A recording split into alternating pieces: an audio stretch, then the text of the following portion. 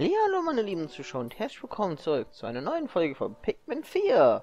Wenn euch das Video gefällt, dann lasst ein Abo und ein Like da und ich wünsche euch jetzt viel Spaß mit dem Video. Ja moin Leute ne? und herzlich willkommen zurück zu einem weiteren Part von Pikmin 4. Ja, beim letzten Mal haben wir uns die letzten Einträge in der Piklopädie von Olimers Seite gegönnt, noch mal ein bisschen den Garten der Giganten erkundet, Wege geöffnet, Löcher entdeckt zum Reinhüpfen und wir wollten heute im selbigen Garten zurück. Ich hatte aber äh, noch beim letzten Mal ein, zwei Serien fertiggestellt und die wollen wir uns jetzt noch mal aus beiden Sichten eben kurz gönnen. Äh, über mir ist eben kurz ein Zeitstempel, wenn ihr die Einträge überspringen wollt äh, vom Schatzkatalog. Ich glaube, die haben ja zum Glück keine mehr so wirklich. Also ich gucke da gleich noch mal rein, sicherheitshalber, aber ich meine nicht, dass wir neue mehr haben. Und wir legen dann jetzt mit den Einträgen los. Zuallererst haben wir die Serie Schlafenszeit vor uns. Ich lese erst einmal mit Schnoß und dann mit äh, Olima die einzelnen Dinger durch. Wer auf der Suche nach erholsamem Schlaf ist, sollte dieses im, im Bett ausprobieren. Es besitzt nicht nur eine komfortable Größe, sondern lässt sich auch gut umdrehen. Wer das tut, wird von feinem Staub eingehüllt, der zu schönen Träumen verhelfen soll. Naja, da bin ich ja eigentlich anderer Meinung. Die Matratze des Betts soll so bequem sein, dass sogar der unruhige Schläfer auf ihr in, in tiefe Träume versinkt. Ich schlafe tief und fest, daher war ich neugierig, welche Auswirkungen dies auf mich haben würde. Würde ich je wieder wachen? Ja, zum Glück. Hundebett. Dieses riesige hundeförmige Bett eignet sich wunderbar als Schlafplatz für einen treuen Gefährten. Ist nicht zu den äh, und absorbiert sogar selber. Ein Hund auf einer hundeförmigen Matte? Gibt es etwas Entzückenderes? Nein. Mein Hund Balbi verfügt über die erstaunliche Fähigkeit, überall schlafen zu können. Das haben wir gemeinsam. Meiner Frau gefällt es allerdings gar nicht, dass Balbi sich überall breit macht. Ein eigenes Bett für ihn könnte die häusliche Harmonie verbessern. Vogelbett. Seit Ewigkeiten sind Vögel der Inbegriff von Freiheit und Erfolg. Sieht man ihm im Traum einen Vogel, ist das Glück einen am nächsten Tag holt. Und schläft man auf einem Bett wie diesem, soll das glückverheißende Träume fördern. Die Forschung zeigt, dass Vogelgezwitscher beruhigend wirkt und den Schlaf fördert. Ich brauche keine Hilfe, um gut zu schlafen. Doch wenn man sich auf der Matratze äh, fühlt, als würde man ein Negerchen im Wald halten, probiere ich das Ding gern mal aus. Das Fischbett. Das Leben soll aus dem Meer entstanden sein. Da überrascht es nicht, dass wir uns dem Wasser so verbunden fühlen. Auf diesem Bett fühlt man sich schwerelos wie ein Fisch im Wasser und kann sich von den Zeiten seiner Träume treiben lassen. Dieses Fundstück erinnert mich daran, wie ich einmal die Außenhülle der Dolphin reparierte. Durch die Schwerelosigkeit und die Sonnenstrahlen fühlte ich mich wie ein Fisch im offenen Meer. In Wirklichkeit schwebte ich nur zwischen jeder Menge Weltraumschrott. Ja, das war die Schlafenzeitgeneration. Und hier sind die Betten alle nochmal aufgetischt. In einer Reihe. So, als nächstes haben wir die Serie Paläontologie vor uns. Und wir fangen mit dem Oktopus an. Ein Alien? Nein, nur ein Oktopus. Wobei dieses Exemplar ist schon etwas seltsam. Eine neue Unterspezies vielleicht? Oder steckt mehr dahinter? So wie mich diese Augen anschauen, werde ich das Gefühl nicht los, dass er telepathisch kommunizieren kann. Äh, Entschuldigung, ich musste gerade kurz die telepathische Nachricht dieser Oktopusse äh, äh, verarbeiten. Die sagten, wir sind Oktopusse. Diese seltsame Kreatur gibt vor, ein Oktopus zu sein. Es ist bekannt, dass manche Tiere Mimikrie betreiben, doch in diesem Fall ist sie nicht überzeugend. Ist es überhaupt ein Lebewesen? Ich werde weiter forschen, doch zuvor nehme ich einen klitzekleinen Happen. Oh, lecker. Geheimnisvoller Quetschfisch. Was für eine eigenartige Fischart. Der Körper ist durchsichtig, aber prall mit schwarzer Flüssigkeit gefüllt. Wenn man auf ihn drückt, schießt die Flüssigkeit heraus. Sie ist lecker, aber auch extrem salzig. Das heißt ja wohl, dass dieser Fisch im Salzwasser lebt. Wie verstörend ein Mund, der abgeschraubt werden kann. Verliert die Kreatur alle Körperflüssigkeit, wenn er nicht richtig aufgeschraubt wird? Mir ist mal ein Joghurtbecher ausgelaufen und meine Tasche hat wochenlang nach saurer Milch gerochen. Ich glaube, da war das Problem aber woanders. Molchiges Gehäuse. Dieses Schmuckstück ist das uralte Überbleibsel eines Meereswesens. Sieht zunächst einmal unspektakulär aus, aber wenn man es umdreht, Überraschung, innen glitzert es wie ein Juwel. Oder genauer betrachtet, wie ein Wassermolch in meiner Heimat. Dieses Fossil wurde am Strand gefunden. Auch von seiner Form her würde ich auf ein Meereslebewesen schließen. Vielleicht war das, was heute ein Strand ist, vor langer Zeit ja einmal der Meeresboden. Ja, da gibt's viele Theorien. Hausschuhkäferfossil. Die Überreste eines Käfers, der vor Ewigkeiten lebte und es bevorzugte, mit einem Partner als Paar zu leben. Die Paare wurden aber oft getrennt und einer der Käfer war dann so gut wie unauffindbar. Moment, verwechsel ich das äh, wegen seines Namens? Dieses Fundstück wurde nahe eines Bergflusses entdeckt und erinnert an die Abdrücke von Schuhen, die man im flachen Wasser trägt. Vielleicht hat diese Kreatur solche Schuhe eher nachgeahmt, um sich anschleichen und Nahrungsvorräte stehlen zu können. Ja, und das war Paläontologie, ne? Und da haben wir nochmal die ganze Familie. Alter, sieht das Fossil fancy aus. Na gut, dann gucke ich jetzt noch eben kurz, ob Piklopädie-Einträge noch von letztem Mal da sind. Sicher ist sicher. Ja, wir haben noch ein paar Einträge vor uns. Ich hatte nicht mehr im Kopf, welche äh, Einträge ich alle abgeschlossen hatte letztes Mal. König Knollenauge. Der Wert eines Lebewesens für sein Ökosystem hängt natürlich nicht von seiner Größe ab. Und trotzdem ist eine Kreatur von solch gigantischen Ausmaßen für mich einfach nur majestätisch. Nicht nur stellt er sich mutig jedem Hindernis, auch sein Brüllen lässt selbst im mutigsten Weltraumabenteuer in seinem Ra Raumanzug erstachen. Ja, das stimmt tatsächlich. Hier handelt es sich um ein Fürsknollenauge im weit fortgeschrittenen Alter, der nicht mehr das Rudelverhalten jüngerer Vertreter dieser Spezies zeigt, sondern das Rudel äh, verlassen hat und, zum Einziger geworden ist. Er ernährt sich, indem er mit Hilfe seiner starken Beine springt und Beute unter sich zerquetscht. Und das mit einer Geschwindigkeit, die man seinen gewaltigen Körper niemals zutrauen würde. Sein Alter lässt sich bestimmen, indem man die ringelkalzifierte Epidermis äh, zählt, die seinen Panzer formen. Ein Ring formt sich mit jedem Lebensjahr. Es wurden auch schon Individuen mit einem Alter von über 100 Jahren entdeckt. Das Hinterteil dieser Kreatur ist oft mit Moos und Pterodoptyren bedeckt. Und in seltenen Fällen können dort aber auch ungewöhnliche Pilze wachsen, nämlich Punktmorscheln.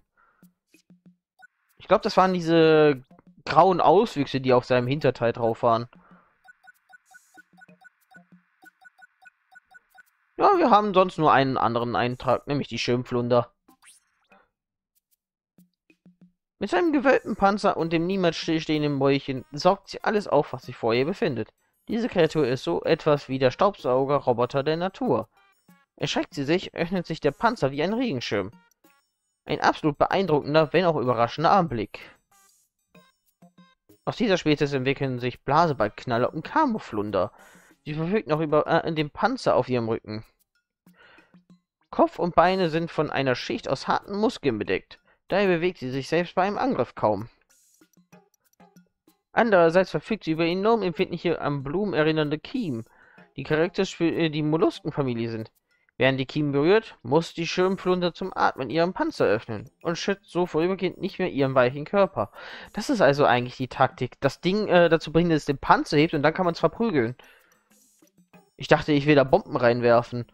Diese samtwirkenden Amphibien verschlingen einfach alles, was das in ihren Sichtkreis gelangt. Wie eine Art lebendiger Staubsauger.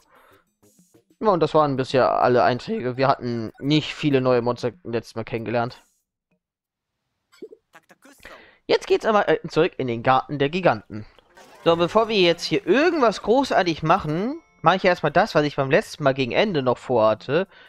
Und sammle jetzt hier äh, vorne zumindest die Viecher alle noch eben kurz ab. So, Leute, ich habe jetzt meine Drohung erstmal wahrgemacht und alles hier oberhalb, was an Lebewesen tot rumlag, jetzt mal abgesammelt. Vom Prinzip her haben wir hier außerhalb eigentlich so gut auch schon gar nichts mehr wirklich zu tun. Wir müssen halt die Untergrundbereiche jetzt auf jeden Fall mal so langsam machen. Das sind die Bereiche, die fehlen. Hier oberhalb wird nicht mehr viel rumliegen. Oberhalb haben wir eigentlich alles gemacht.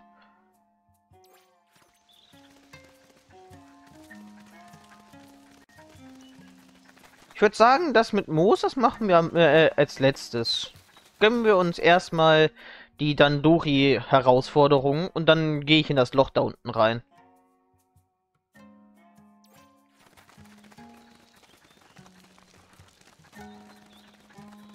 Also ich habe jetzt äh, hier alles äh, mit den Felspigments abgesammelt. Damit wir ordentlich was am Felspigment haben. Das werde ich beim nächsten Gebiet, wo wir dann wahrscheinlich die Flüge picken, äh, deren Zwiebel finden, dann auch so machen, dass ich alles mit den Flügelpigments absammle. Damit ich ordentlich was am Flügelpigments habe. Weil Flügelpigments sind eigentlich das Beste, was Abtransport angeht, weil die über alles fliegen können und den kürzesten Weg haben.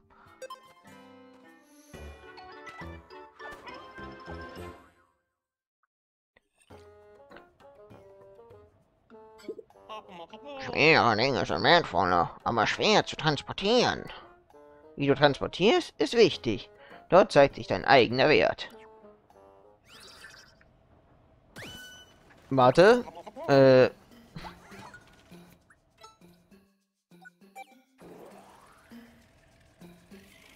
Erstmal überschauen. Ich will ja auf jeden Fall auf die Flügelpigments hier hauptsächlich gehen, wenn ich das richtig verstehe. Die Dinger muss ich wegbrennen. Na gut, aber danach kann ich definitiv alles auf die Flügelpigments machen. Also ich sollte nach Möglichkeit so viele Flüge wie möglich mitnehmen. Ich muss ja nur mindestens ein rotes behalten. Zum Transportieren definitiv Flügelpigments.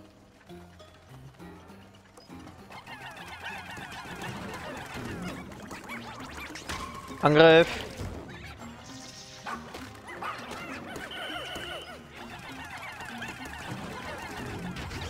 So, der ist schon mal kaputt. Ach, wie rum wollte ich jetzt eigentlich laufen? Was wäre die beste Reihenfolge? Da habe ich gerade gar nicht geguckt. Weil das hier Stufe 4, ich, äh, ab äh, Stufe 3 musste ich schon mir übelst Gedanken machen. Na gut, so rum wie ich gerade laufe, ist eigentlich äh, gut, weil hier fang, äh, fängt das an und ich muss das ja kreis rum machen. Ist in dem Ei irgendwas drin? Das Ding schlägt nicht aus, also ignoriere ich das Ei mal.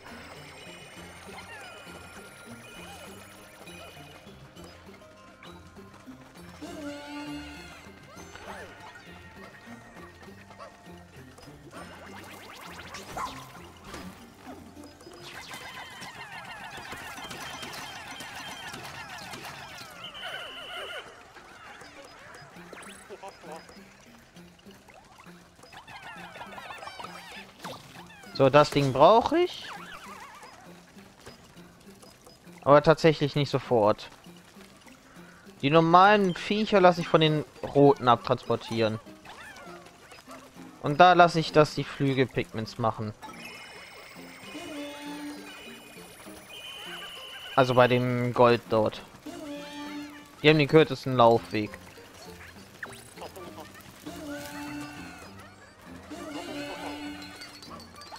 Zumindest die meisten davon.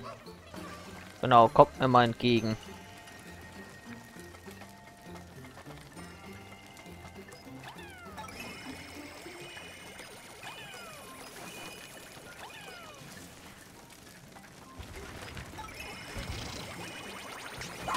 Nein. Hier wird nicht abgehoben.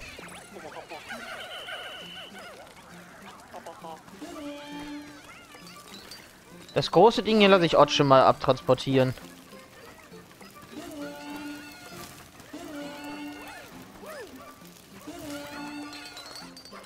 So, dich brauche ich noch, um äh, mir den Weg frei zu machen. Die können ja danach wieder kommen.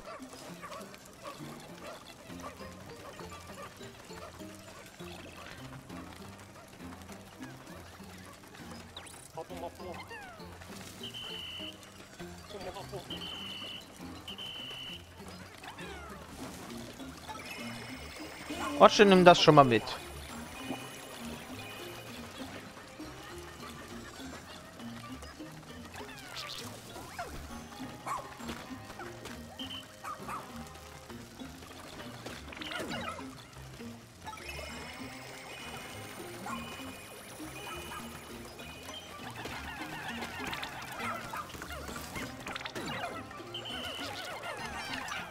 Nein.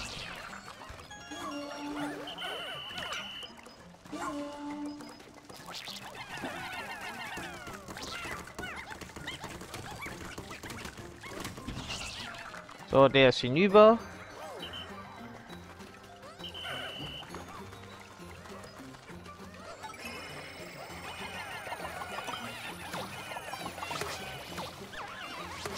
Doch spätestens ab jetzt brauche ich so oder so die äh, Geflügelten. Könnte knapp werden. Oh, äh, wie die äh, Feuernuss da jetzt erstmal.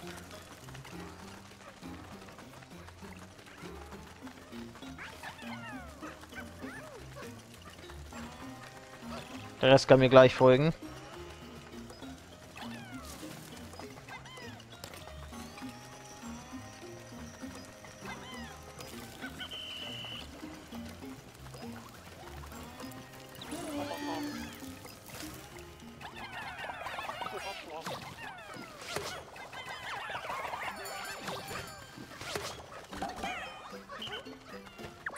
Die Pigments, die ich schon habe, sollen da schon mal arbeiten. Nee, das muss ich normal machen. Das, äh, die kriegen die Ladung nicht schnell genug weg. Da werden jetzt gerade die letzten Goldklumpen abtransportiert.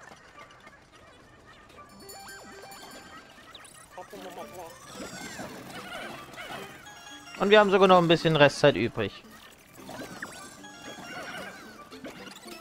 Diesmal habe ich es wesentlich effizienter geschafft.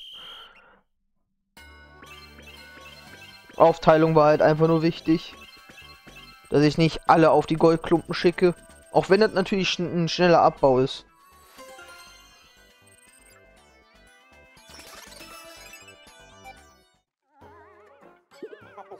Ein Dandori, zu gut und schlagbar. Wie versprochen erhältst du eine Belohnung. 30 Rohmaterialien. Und dich. Die gestandene Person ist ohnmächtig. Das ist unsere Chance, sie zu retten.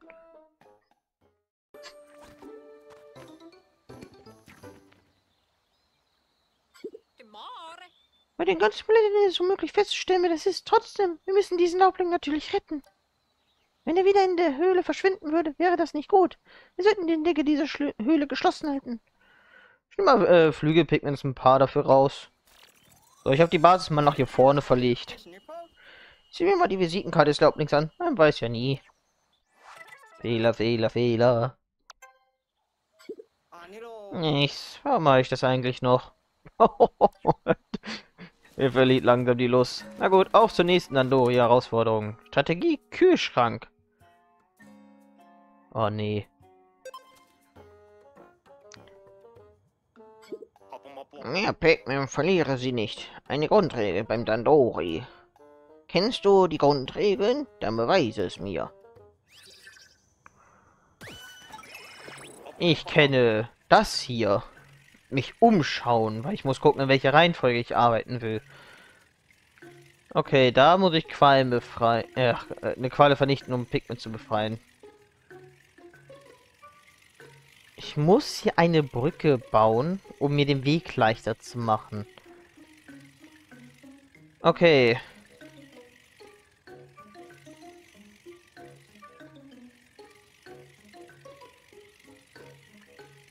Ich würde sagen, wir arbeiten links rum tatsächlich.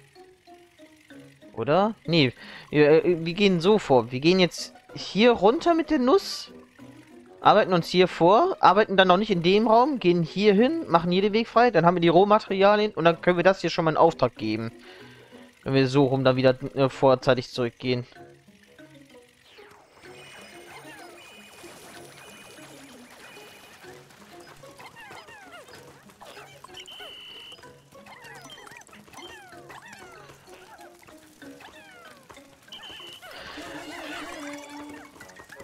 Ich krieg's nicht geschissen, den zu werfen.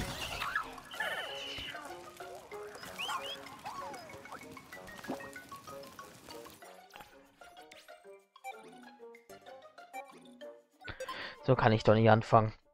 So, auf dich Feuernuss werfen. Dann hast du keine Power mehr.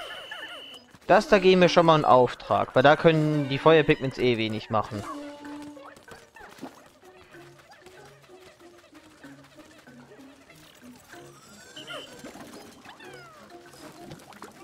Und nach wie vor eine Feuernuss.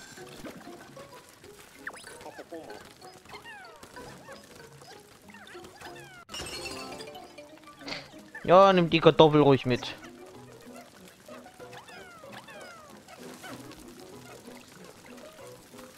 Da kann ich ja einmal gegenwerfen. Habe ich sogar ein paar Pigments bekommen.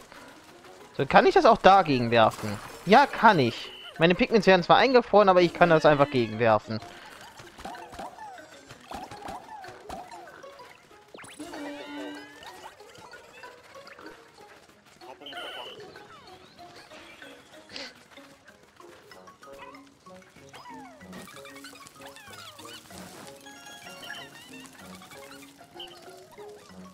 Darüber reden wir mal nicht.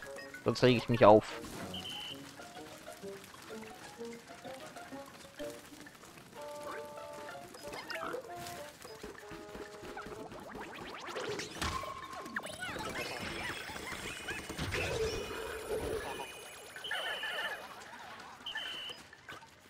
Ja, die Eispigments lasse ich jetzt diese Brücke bauen.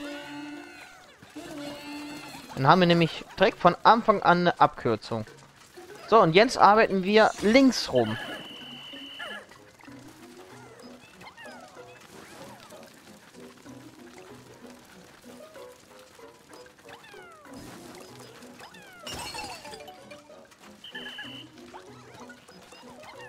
Das Ding brauche ich. Da muss ich mir den Raum hier erstmal warm machen.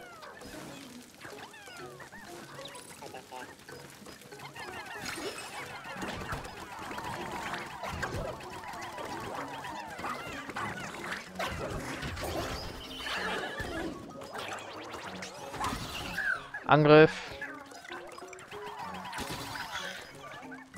So, den Apfel lasse ich Otschen abtransportieren.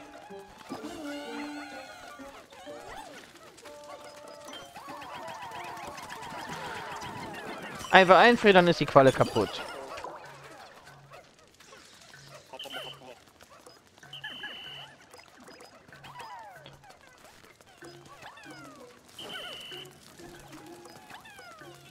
Transportiert das Ding mal weg.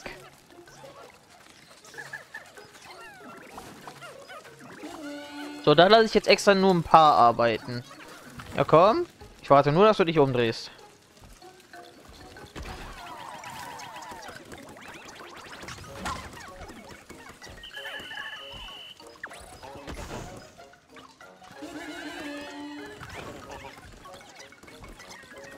Du kommst nicht mehr zum Umklatschen. Okay, du bist zum Umklatschen gekommen. Entschuldigung. Otschen, du machst das. Und dann wird hier abtransportiert. War, äh, wenn das jetzt schon alles war, war das eine der einfachsten Challenges überhaupt. Haben wir irgendwo eine Feuerschale vergessen? Weil es ist immer noch kalt. Also hier muss man jetzt sagen, war das dann Dori echt einfach. Also das hier war wirklich sehr, sehr einfach.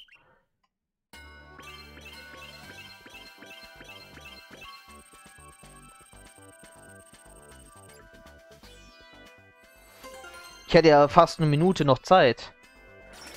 Und ich hab's First Try geschafft. Unglaublich, dann Lori. Schockierend. Du hast den Rekord gebrochen. Nimm dies. 30 Rohmaterialien. Und ein zweiter Laubling eingesammelt. Du bist das richtig gut in Andori. Prima, dann holen wir die gestandete Person mal da raus.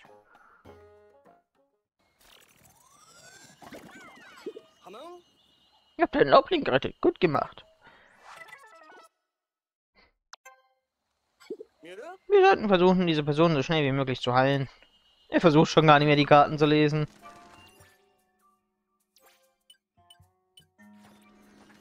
Na dann, auf zum äh, Kreaturenwiege. Es kamen so viele Kreaturen gleichzeitig auf mich zu, dass ich mich gefühlt habe wie beim Nobelbuffet mit allen Extras. Ich war so voll, das muss ich erstmal sacken lassen. Oh, da werden mir die Lilanen empfohlen.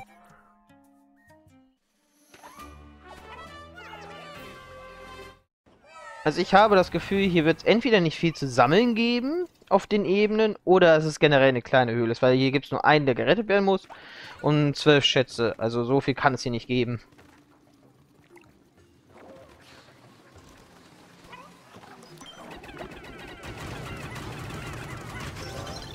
Und so vernichtet man die in Schnelldurchlauf.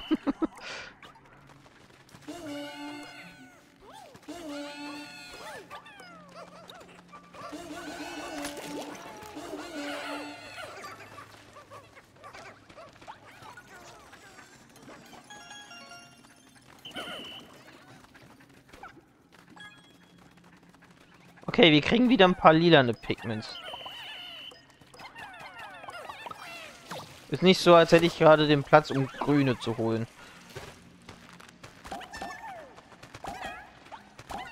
Sonst hätte ich jetzt nicht äh, die roten geopfert. Okay, hier nicht lang. Offenbar muss ich hier durch ohne Otschen.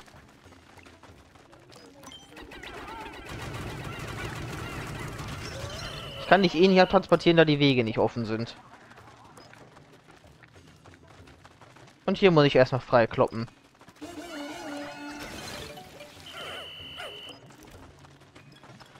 Ich würde sagen, den Ballonus zuerst.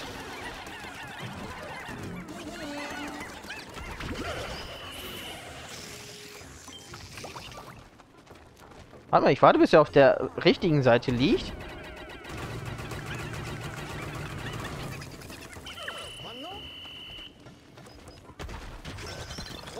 Dann glaube ich, dass er erst nochmal umkippt. Äh, wo ist denn jetzt das Ding, was ich brauche, um die Wege frei zu machen?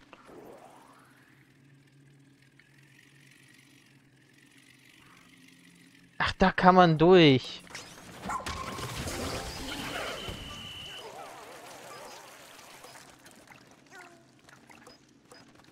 Ich brauche jetzt trotz allem erstmal das da.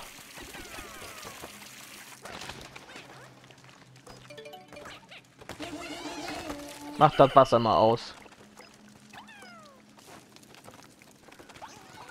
So, dann machen wir jetzt erstmal die Wege frei. Weil sonst kommen die ja nirgendwo hin.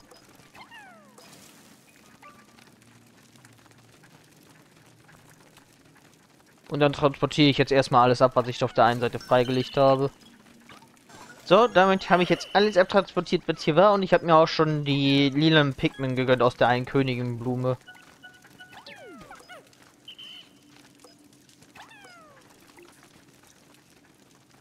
Jetzt müssen wir nur noch hier frei machen und dann sind wir ja eigentlich auch schon fertig.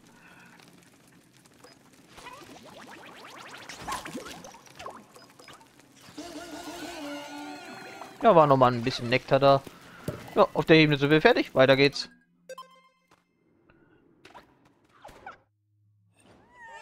Okay, wir haben 33 Prozent äh, zu diesem Zeitpunkt. Das heißt, der äh, Ort hier, also die Höhle, ist wirklich nicht besonders tief. Da ist ein Hundeloch. Ottchen, hab Spaß.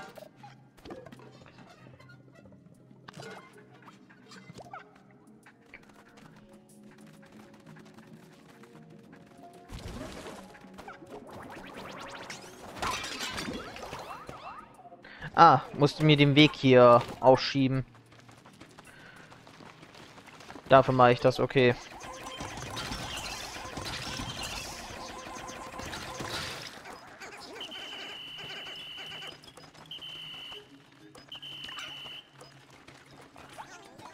Da haben wir Orchin direkt wieder zurück. Haben wir hier erstmal alles frei. Ich kann auch danach noch abtransportieren.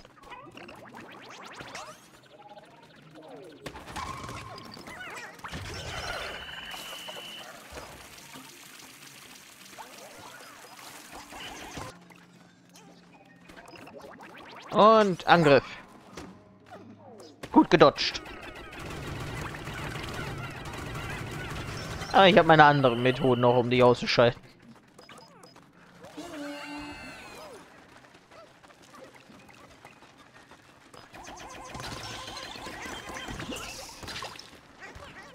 So.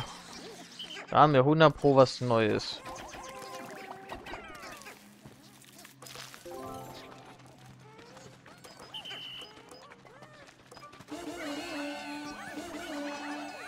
Helfen könnt ihr mal ruhig so viele wie irgend möglich.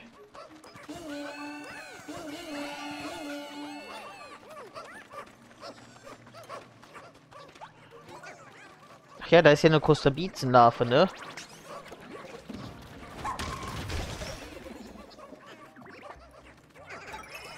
Nicht, dass die mir das Leben schwer macht. Oh, Jetzt muss ich nur noch das Rohmaterial da hinten abstimmen und hier den Weg mir erstmal öffnen. Dann haben wir den äh, Teil hier schon fertig. Okay, Brücke ist fertig und alles abtransportiert. Dann machen wir dich jetzt mal eben kurz fertig. Muss ja warten, bis du deine Stacheln los wirst. Sonst mache ich mir mein Leben schwer.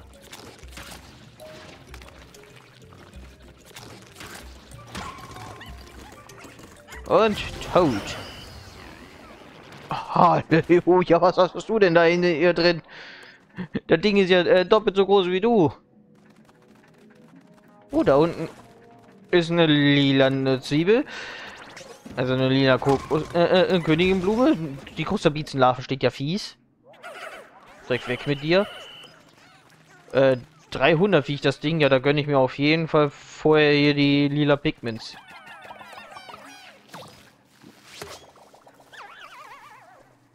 Ansonsten liegt hier nichts mehr rum, oder?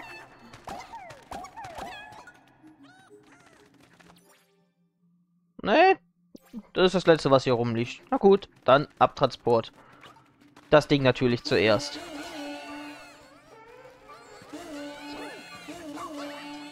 Da sollen wir eben kurz alle helfen. 455 äh, äh, Tagepower habe ich gerade einfach.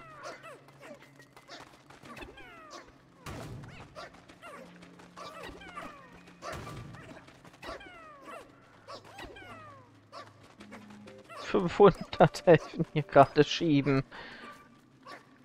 Hier wird ordentlich gezogen. Alter, so ein fettes Stück Schinken, ich krieg Hunger. Wie hat das überhaupt in den reingepasst?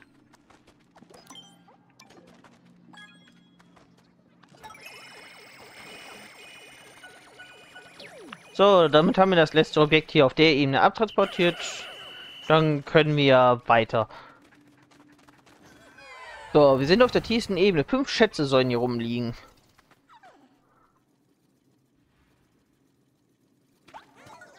Okay, wir haben irgendeinen Boss jetzt direkt vor uns.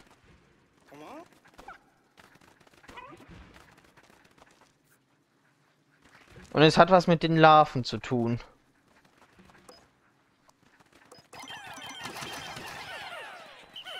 Machen wir einfach mal kaputt.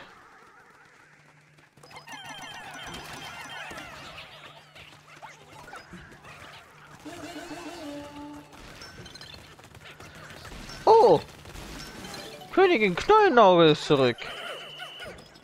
Nee, lass die Rohmaterialien erstmal liegen. Äh, ich glaube, da werfe ich zwei Bomben rein. Allein schon, um eine riesige Armee loszuwerden. Warte mal, es geht doch eigentlich auch so. Komm, du siehst mich.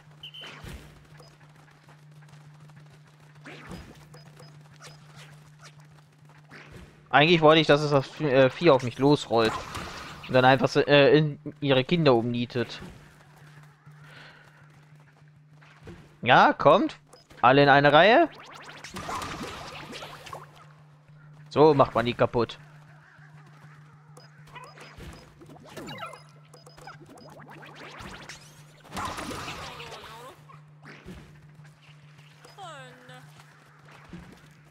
Okay, es macht kaum Sinn, die zu bekämpfen. Otchen!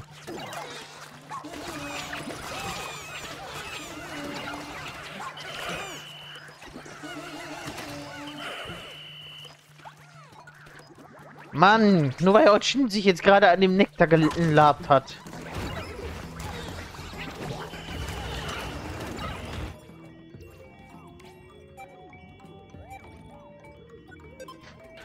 Okay.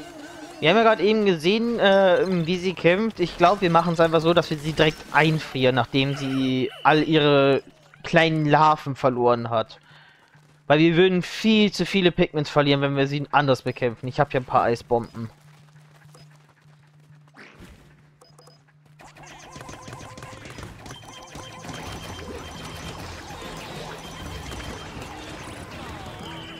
So, kommt der. Ich halte mir schon mal die Eisbomben bereit. Die werfe ich dann, sobald sie stehen bleibt. Damit wir die Verluste minimal halten. So, und Angriff.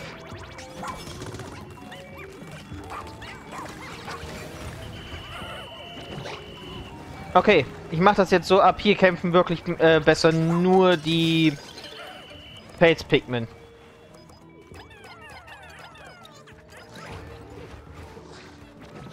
Weil alle anderen Pigments würden sterben. So, wir stehen jetzt hier nur mit Felspigmen.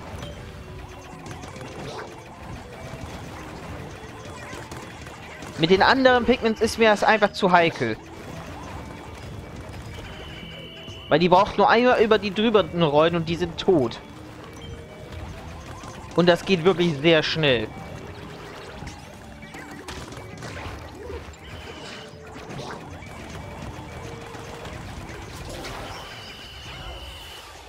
Jetzt ist sie tot. Jetzt können die anderen kommen. Mir war das einfach zu heikel. Also, ja, wir haben jetzt äh, einmal ja sogar einen Lauf gesehen. Also, ich habe jetzt hier ja erst so versucht, aber da sind so viele Pigments instant gestorben. Da habe ich dann nochmal zurückgedreht mit der Zeit und jetzt wirklich nur mit dem Fels-Pigment die bekämpft, weil anders vernichte ich nur meine eigenen Pigments fürs Knollenauge ist so ein schlimmer Gegner in diesem Spiel.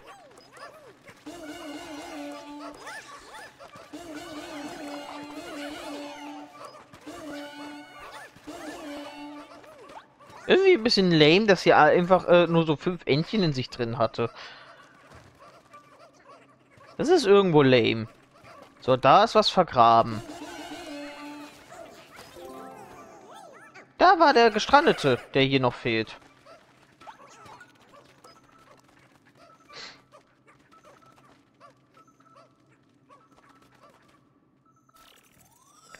Und es ist nicht mal ein Laubling. Mal sehen, was uns die Visitenkarte verrät. Schatzjäger Dober, Heimplanet Kopai. Ehemalige Elite-Spinase geht nun Gerüchten über Schätze nach, um mit dem Propheten nach dem Hunger in seine Heimat zu bekämpfen. Aha, dieser gestandene stammt von Kopai. Hoffen wir, dass er uns sagen kann, wo sich Nelly aufhält. In Kopariana wurde gerettet. Du hast einen Koparianer gefunden. Er ist zwar nicht Nelly, aber vielleicht erfahren wir jetzt, wo sie zu finden ist. Wir sollten uns mit ihm unterhalten, wenn er aufgewacht ist. Okay, Hauptmission sagt zwar, kehre zum Basiscamp zurück, aber ich sammle jetzt erstmal noch den Nektar hier mit allen auf, die noch äh, nutzen können und dann gehen wir nach oben.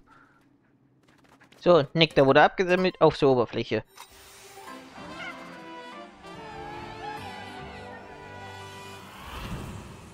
Haben wir jetzt einige lilane Pigments bekommen.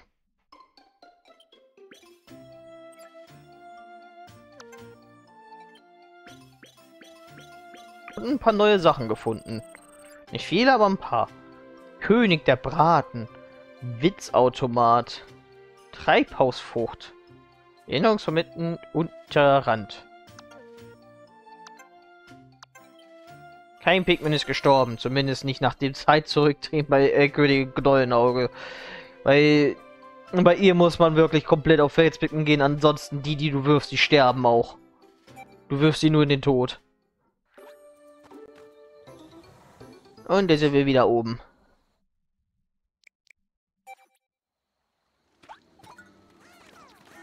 Eine Höhle vollständig erforscht.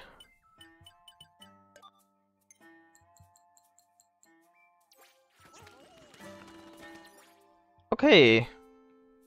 Wir haben noch... Also auf der Seite haben wir eigentlich gar nichts mehr zu tun. Äh, wir haben da oben noch eine Dandori-Herausforderung. Wir haben hier noch ein Loch, das erkundet werden will. Und hier haben wir ein Duell. Ich würde sagen, da tue ich mir dann safe die Basis hin. Das ist, glaube ich, das Intelligenteste gerade. Muss aber erstmal wieder dahin laufen.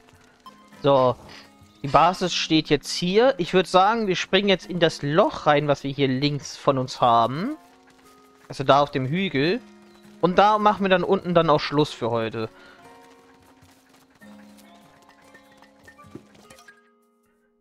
Ultimatives Testgelände. Ich habe mir schon ne, mit allem möglichen äh, gestopft. Die größten Kreaturen sind meist auch die leckersten. Außer diese einen, die wie eine ultimative Waffe aussieht. Die habe ich kaum runtergekriegt. Du hast ja auch nicht alles essen, was du siehst. Zwei gestrandete und zwölf Schätze. Oh, da habe ich ja eine Empfehlung. Okay, ich bin schon gespannt, was mich hier erwarten wird. Also wir können jetzt schon mal grob drüber schauen. Da muss ich auf jeden Fall eine Brücke bauen. Das steht ja wohl von vornherein fest. Okay. Ich werde hier sehr viel mit den Flügelpigments arbeiten, habe ich irgendwie im Gefühl. Ich glaube, ähm, bei den Blau, Rot etc. wäre es, glaube ich, egal gewesen, was ich mitnehme. Na gut, da haben wir schon mal einen groben Überblick.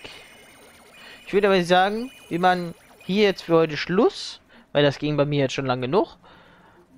Bei euch ist ja immer ein bisschen stark geschnitten, wenn ich alles absammle noch und so weiter ja, wenn es euch gefallen hat, ein Abo und ein Like da lassen. Und wir sehen uns dann beim nächsten Part wieder. Da machen wir dann diese Höhle hier. Ciao, Leute. Bis dann.